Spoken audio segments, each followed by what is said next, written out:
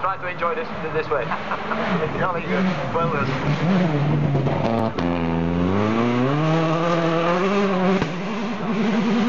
really fantastic uh, how excited he was about the.